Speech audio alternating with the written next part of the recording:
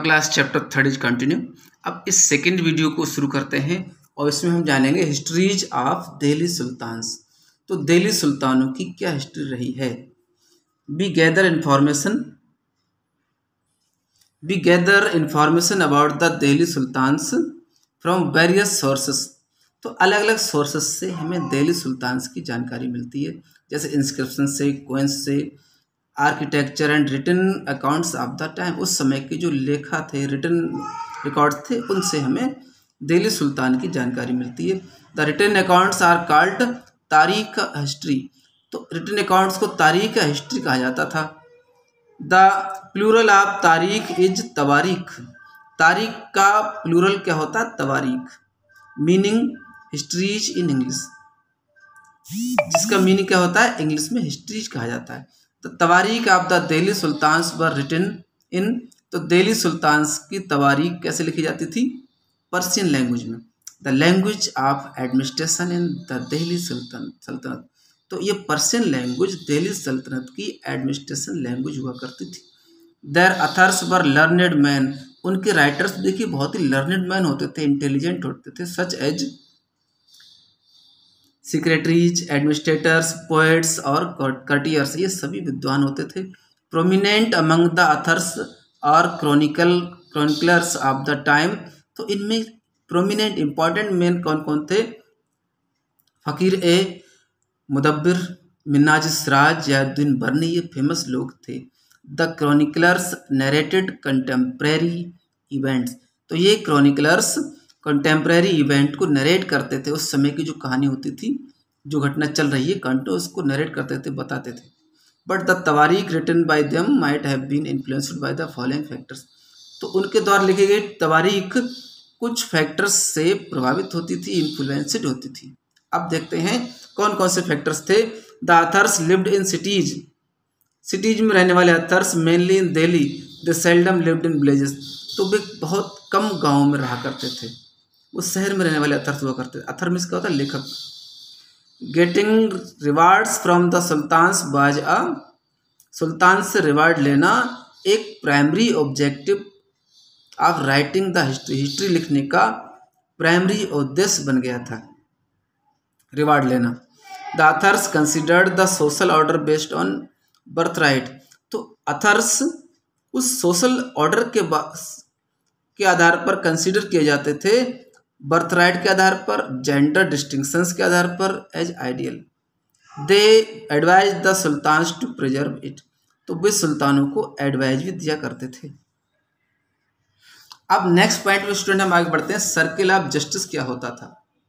In their writings the chronicles often stressed the importance of just rule तो उनकी writings में जो chronicles होते थे क्रॉनिकलर्स जो लिखने वाला पर्सन है क्रॉनिकलर्स अक्सर जस्ट रूल के बारे में स्ट्रेस्ड करते थे, बताते थे। This is evident from the concept of the circle of justice ये सर्किल ऑफ़ जस्टिस का एक प्रूफ हुआ करता था प्रोपाउंडेड बाई फ़कीर मुदब्बिर, जो फ़कीर मुदब्बिर के द्वारा प्रपोज होता था। He felt that the survival of kings उन्होंने क्या महसूस किया? राजाओं का सर्वाइवल होना सोल्जर्स का पीजेंट्स का बज इंटरकनेक्टेड इन सबका रिलेशन एक इंटरकनेक्टेड था। He explain the king can not survive without soldiers उनमें ये भी लिखा गया कि किंग सोल्जर्स के बिना सर्वाइव नहीं कर सकते। And soldiers can not live without salaries और सोल्जर्स भी सैलरीज के बिना नहीं रह सकते। Soldiers are paid salaries from the revenue collected from peasants तो पीजेंट्स से मिलने वाले रेवेन्यू से सोल्जर्स को सैलरी दी जाती थी। But peasants can pay revenue only when they are prosperous and happy तो पीजेंट तभी रेवेन्यू दे पाते रेवेन्यू क्या होता है? कर या टैक्स जब वो खुश होंगे और प्रोग्रेस करेंगे। And a peasants prosperity can be ensured only और फार्मर्स की प्रॉस्पर्टी किससे इंश्योर हो सकती थी? When the king promotes justice जब राजा न्याय करता था एंड गुड गवर्नेंस अच्छी गवर्नेंस करता था। तो so in the continuity of the circle of justice the king plays an important role तो इस तरह सर्कल ऑफ़ जस्टिस की क्वान्टिटी बनाए रखने के लिए राजा का रोल इंपॉर्टेंट होता था। अब रजिया सुल्तान जो पहली महिला शासक थी ट्वेल्व थर्टी सिक्स से फोर्टी की भी उसके बारे में पढ़ना है हमें तो सुल्तान इल्तुतमिश की daughter Razia was the only women ruler of the Delhi saltanat तो सुल्तान इल्तुतमिश की डॉटर रजिया दिल्ली सल्तनत की अकेली महिला शासक थी।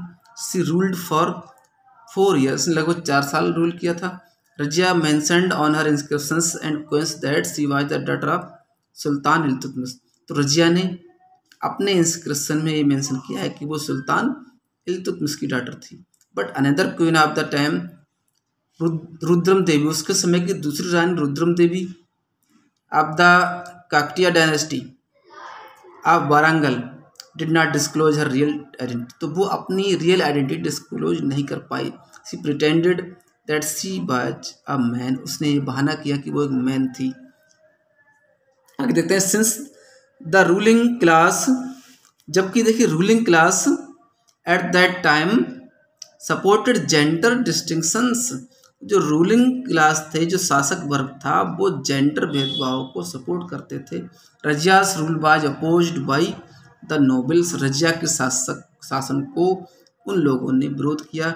Minhaj Siraj was also against the women ruling sultan तो मिन्नाज इस राजवी सुल्तान के रूप में विमेन के शासन के अगेंस्ट था। यानी कि रजिया को महिला के रूप में वो नहीं देखना चाहता था कि वो शासक ना बने।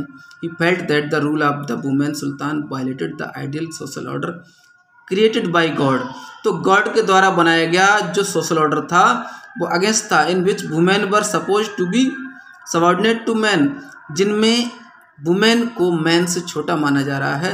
अल्टीमेटली रजिया आवाज़ रिमूव ट्वेल्व फोर्टी और इस भेदभाव की वजह से कि महिलाओं को यह अधिकार ना दिया जाए और रजिया को ट्वेल्व फोर्टी में हटा दिया गया।